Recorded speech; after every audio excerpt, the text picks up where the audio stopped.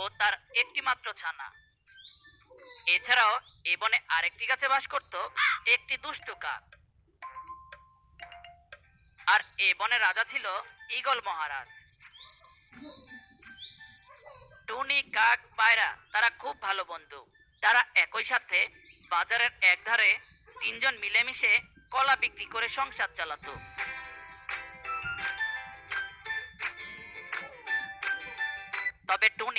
তার জমিতে কলা গাছ চাষ করেছে। আর সেই কলা গাছ থেকে কলা পেরে সেই কলা বাজারে এনে বিক্রি করে।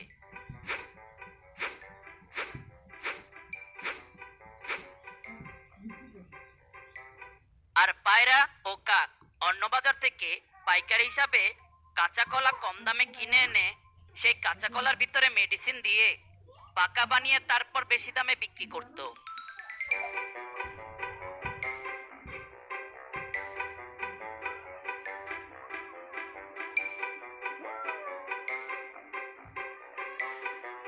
এভাবে সবার জীবনযাপন, ভালোই চলছিল।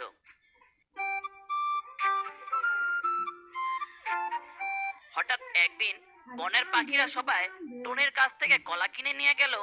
কাক আর পায়রার কাছ থেকে কেউ কলা কিনে না।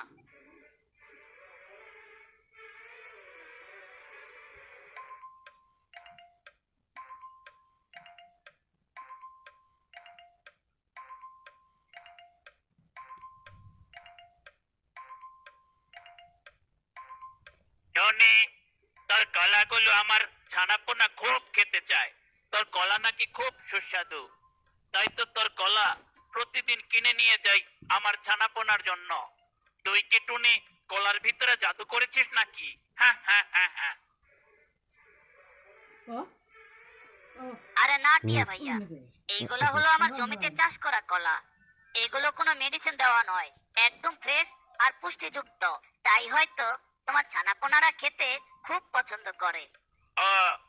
এটাও হতে পারে টুনি।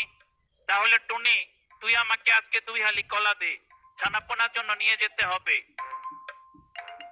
আর এইদিকে কাক আর পায়রা এইসব থেকে বলে দেখেছিস পায়রা? আমাদের কাছ থেকে কেউ কলা কিনে না। কিনবে কি করে বলো?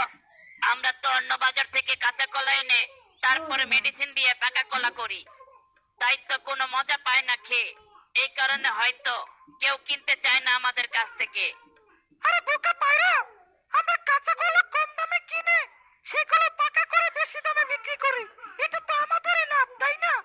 কিন্তু কাক ভাইয়া এখন আমরা কি করতে পারি? বলো। টনির থেকে সবাই কিনে নিয়ে যাচ্ছে কলা। এখন তো আমাদের কলা কাস্টমারদের কাছে জোর করে বিক্রি করতে পারি না তাই না?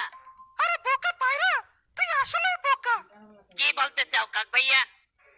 তখন কাকের মাথায় একটি দুষ্ট বুদ্ধি চলে আসে আর কাক বলে পায়রা পেয়েছে বুদ্ধি। কি বুদ্ধি কাক ভাইয়া? টনি তার জমিতে যে কলা গাছ চাষ করেছে সেই গাছগুলোতে আমরা আজ রাতে গিয়ে রোগ জীবাণুর মেডিসিন দিয়ে আসব। তাহলে টনি যখন কাল সকালে সব কলা বিক্রি করতে আনবে সেই কলাগুলো সবাই কিনে খেলে তাহলে সবাই টনির থেকে কলা কিনে খেলে অসুস্থ হয়ে পড়বে। আর সব দোষ টনির হবে তাই তো কাক ভাইয়া। ঠিক বলেছিস পায়রা। তারপর কি হবে কাক ভাইয়া? আরে বোকা পায়রা তারপর টনিকে সবাই দোষী করে মহারাজের কারাগারে বন্দি করে রাখবে। আর আমরা আগের মতোই আরামে ব্যবসা করতে থাকব। ঠিক আছে কাক ভাইয়া তাহলে আজ রাতেই টুনির জমিতে গিয়ে রোগ জীবাণুযুক্ত মেডিসিন দিয়ে আসব।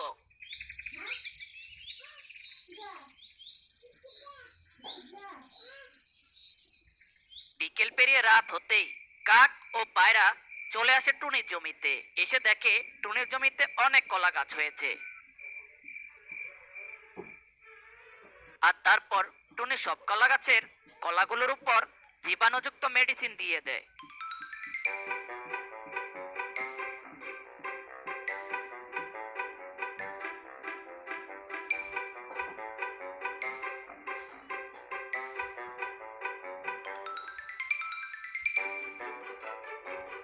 মেডিসিন দেওয়া শেষ হলে কাক ও পায়রা বাসায় চলে যায়। সকাল হতেই টুনি ও তার ছানাপোনা জমিতে এসে কলা গাছ থেকে কিছু কলা পারতে থাকে। অনেকগুলো কলা পাড়া শেষ হলে টুনি বলে, শোন আমার জানারা আমি আজ এইসব কলা বাজারে বিক্রি করব। তারপর সেই টাকা দিয়ে তোদের জন্য মজা কিনে আনব। তোরা বাসায় চলে যা। আচ্ছা আম্মু। তারপর টুনি কলা ঝুড়িটি মাথায় নিয়ে বাজারে রওনা দেয়। বাজারে এসে টুনি সবসময়ের মতো কলাগুলো বিক্রি করতে থাকে।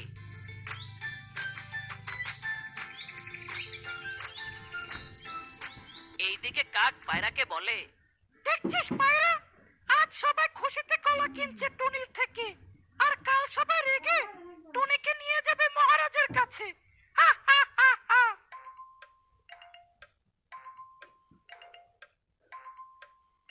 এইদিকে টিয়া তার বাসায় ছানা পোনাদের কলা খেতে দিয়েছিল, আর সেই মেডিসিন যুক্ত কলা খেয়ে তার দুই ছানা অসুস্থ হয়ে যায়।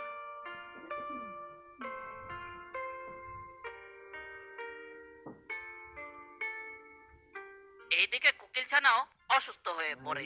এভাবে টুনির থেকে যারা মেডিসিন যুক্ত কলা কিনে নিয়ে খেয়েছিল সবাই অসুস্থ হয়ে গেছে। পরের দিন টুনি আবার কলা নিয়ে বাজারে আসে। তখন টিয়া আর কোকিল চলে আসে।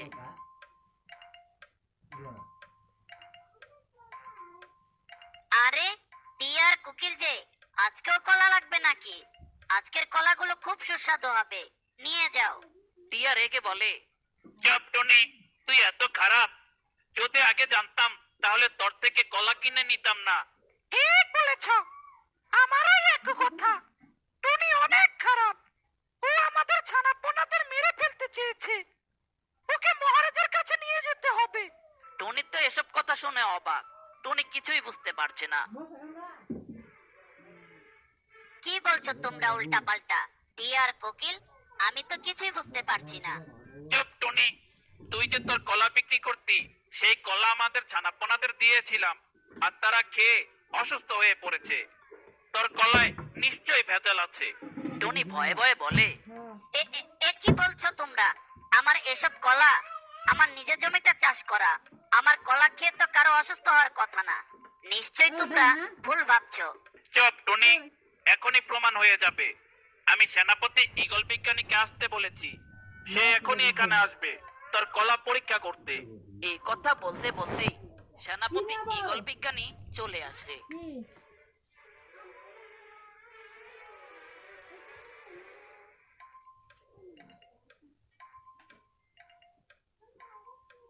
টিয়া কার ফল বলে পরীক্ষা করতে হবে?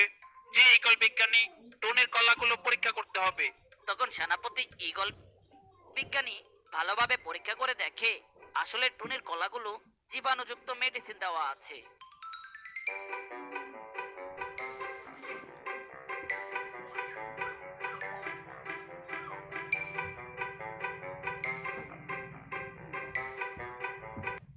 এ কি?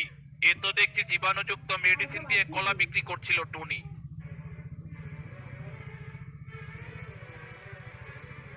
কি বলছেন এসব ইগল বিজ্ঞানী? আমি জীবনে এসব কাজ করি না। বিশ্বাস করুন আমি মেডিসিন দেইনি। পরীক্ষা করে দেখলাম। সত্যিই দিয়েছ। এটা তো মিথ্যা হতে পারে না। তখন কাক বলে এত কথা কিসের? টুনিকে মহারাজের কাছে নিয়ে যান আর তারপর টুনিকে কারাগারে বন্দি করে রাখেন। ঠিক বলেছ। টনিকে এখনই মহারাজের কাছে নিয়ে যেতে হবে। সেনাপতি ইগল বিজ্ঞানী এখনই টনিকে মহারাজের কাছে নিয়ে যান। তারপর সেনাপতি ইগল বিজ্ঞানী টুনিকে সাথে নিয়ে মহারাজের বাসায় রওনা দেয়।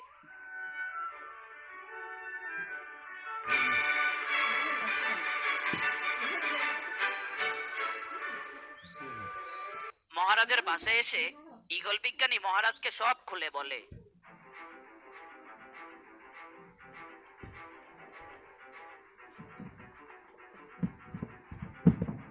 আর তখন এসব কথা শুনে মহারাজ বলে এ কি বলছো?